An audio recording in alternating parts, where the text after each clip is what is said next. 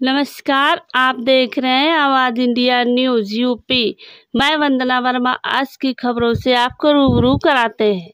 Awadh sugar and energy हर गाँव का पेराई सत्र 2022 एंड 23 का शुभारंभ आज दिनांक 10 ग्यारह बाईस को समय ग्यारह बज के पच्चीस मिनट पर वैदिक रीति रिवाज के अनुसार तथा मंत्रोच्चारण व माता लक्ष्मी एवं गणेश तथा विश्वकर्मा भगवान की पूजा अर्चना करने के बाद हर गाँव मिल के प्रबंधक डी के शर्मा ने पुराने रीति रिवाज के अनुसार सर्वप्रथम ग्राम भेगपुर हरगोविंद वर्मा व नैमिष वर्मा मुंशी की बैलगाड़ी की पूजा अर्चना की तत्पश्चात उनको अंग, वस्त्र, मीठा फल, मुद्रा दान किया।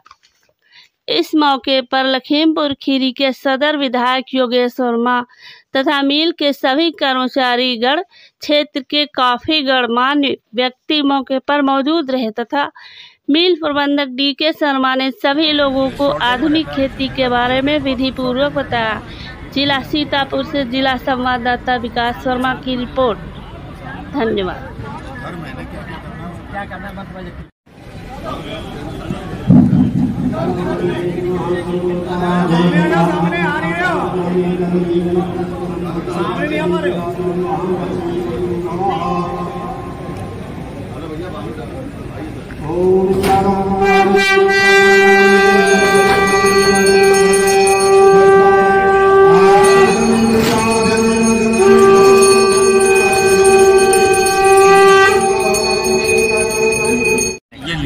ये, लेते हैं गन्ने का। और इसमें से थोड़ी थोड़ी खुरसते हैं। फिर इसमें बना बनाना चालू करते हैं पौधा फिर इसकी चार पाँच बार तक कभी भी कोई रोग नहीं खाएगा जो पहली स्टेज है वो दूसरी स्टेज है। जो आपके हाथ में है वो ये है। इसको यहाँ लगाएँगे। यूँ। फिर इसमें पौधे इसमें से बहुत सारे पौधे निकलेंगे। फिर इन पौधों को भी हम हमारे ही खेत में लगाएँगे किसान को नहीं देंगे। फिर इसके जब हज़ारों पौधे हो जाएँगे तब किसानों को के पौधे पहले पौधे उसमें आएँगे फिर पहले इसमें आएँगे। फिर इसमें जाएगा। यहाँ तक भी हमारे खेत में जाएगा। फिर इसका जो जाएगा इसकी दो दो आँख एक एक आँख किसानों को सौ सौ आँख देंगे ताकि उन सब किसानों का बीज बदलाव हो जाए। मतलब बीज बदलाव हो जाए। ये टिलर से इतने सारे टीलर आते हैं उससे ये जो रोग प्रतिरोधक क्षमता बढ़ाने की व्यवस्था है। पंद्रह किलो तेईस का ही है। हर वैरायटी का सारे- पौधा सब जिसमें सब है। एक- एक सौ अठारह भी है। तारीख में क्या रखा है? सब एक सौ अठारह भी है किस तारीख को किया था सब चीज़। इस तरह की ये तो खाली दिखाने के लिए यहाँ लाए हैं। पीछे जो लैब है कभी आप फुर्सत में आओ दिखाएँगे।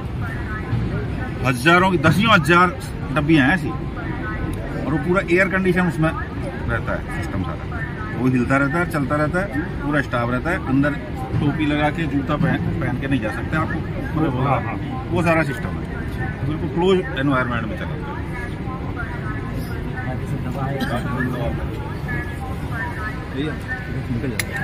ये ट्राइकोडर में है। ये बहुत ज़रूरी है सारे इस कंपनी में नई चीज़ बता रहा हूँ। मेरे ख्याल से आठ नौ महीने में ये जाए बारह महीने में अपना प्रोसीजर है।